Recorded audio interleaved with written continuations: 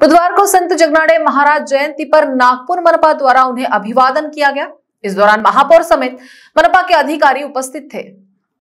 समाज को कीर्तन, अभंग के माध्यम से सीख देने वाले संत संताजी जगनाड़े महाराज के तीन सौ जयंती के अवसर पर नंदनवन चौक स्थित प्रतिमा को महापौर दयाशंकर तिवारी ने माल्यार्पण कर उन्हें अभिवादन किया।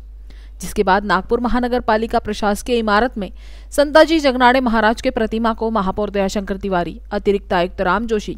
उपायुक्त रविन्द्र भिरावे, उपायुक्त विजय देशमुख, प्रमुख लेखा व वित्त अधिकारी विजय कोल्हे, सहायक आयुक्त महेश धामेचा, आरोग्य अधिकारी डॉक्टर गजेंद्र महल्ले ने पुष्प अर्पण कर विनम्र अभिवादन किया। इस दौरान इस दौरान पूर्व उप महापौर शेखर सावर बांधे, पूर्व नगर सेवक सागर लोखंडे, नाना झोड़े, दिलीप मेश्राम, युवा आघाड़ी विदर्भ समेत संताजी नवयुवक मंडल के पदाधिकारी सुभाष घाटे, मंगेश सातपुते, प्रवीण बावनकुले, अनिल गुजरकर, रुपेश कामले मंगेश बारई, पंकज सावरकर, सुभाष ढबाले, सागर गंधर्व, भास्कर लांजेवार, गिरीश महाजन, अनिल पेटकर, सुभाष तड़स, राकेश इखार, विष्णु बोंद्रे, शुभम तड़स, संजय फटिंग समेत बड़ी संख्या में कर्मचारी उपस्थित थे।